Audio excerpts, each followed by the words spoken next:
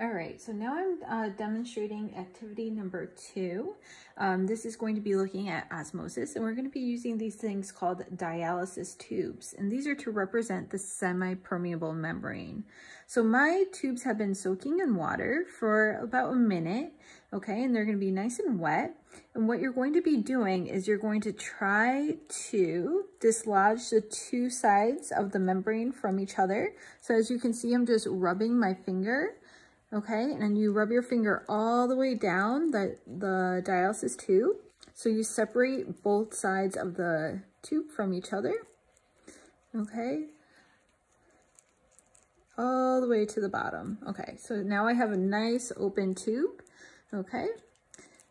Obviously the two sides are gonna stick to each other, but I have opened them up.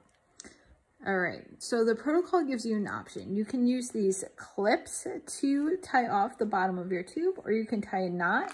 I actually kind of recommend doing both if possible. So let's see if I can tie a knot. I haven't tried yet. It's probably gonna be a little bit tricky because it is wet and slippery. But you wanna make sure that you tie off the dialysis tube nice and tight because if it leaks, then your experiment is ruined. Okay, so I'm gonna tie a knot and then underneath my knot, I'm also going to add the little clip.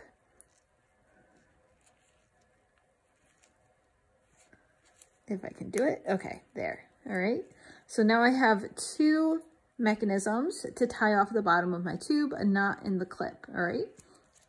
So here going up to the tube. So if your tube ever gets really dry and stuck together, you can always dip it back into the water to make it um, more wet and then you can um, rub your fingers to open the tube back up again, okay?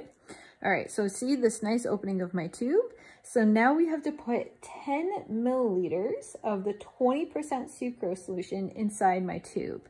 So they suggest using a graduated cylinder. I actually suggest using the um, transfer pipette Okay, so here, as before, so this one was used in my 20%, so I'm just gonna use it again. As you can see, the top line is one milliliter, so I'm just gonna fill it 10 times with this pipette into my tube. Okay, so I'm gonna do this really quick. So I wanna make sure I'm inside the middle of my tube, and there is one milliliter. 10 times. Two, three, four, five, six, seven,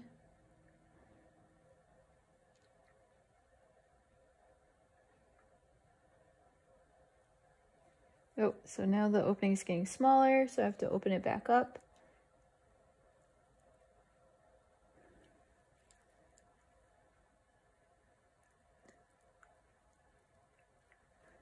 All right, so we're gonna pause and try to open this. So this does require some patience. Okay, so now I got it back open. Okay, so I was on seven.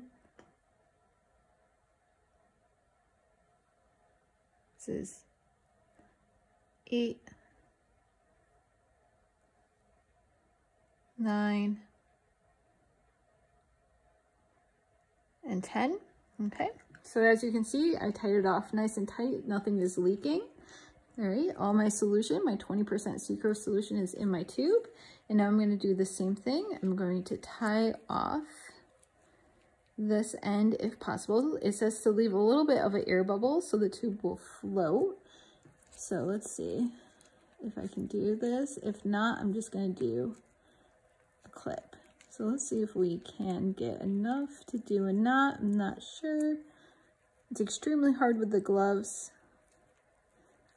All right, I think I'm gonna abandon, abandon the knot on the side and I'm just gonna do a clip. If you can do a knot in a clip, do it. If not, we'll just stick with the clip.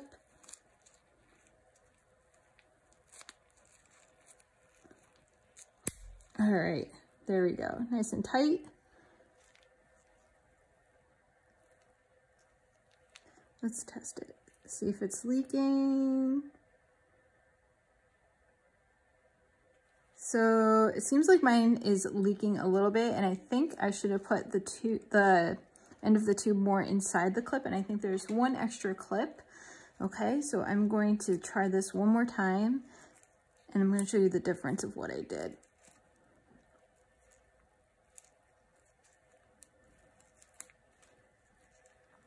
If I can do it.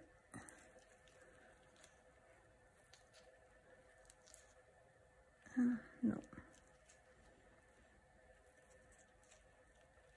There we go. All right.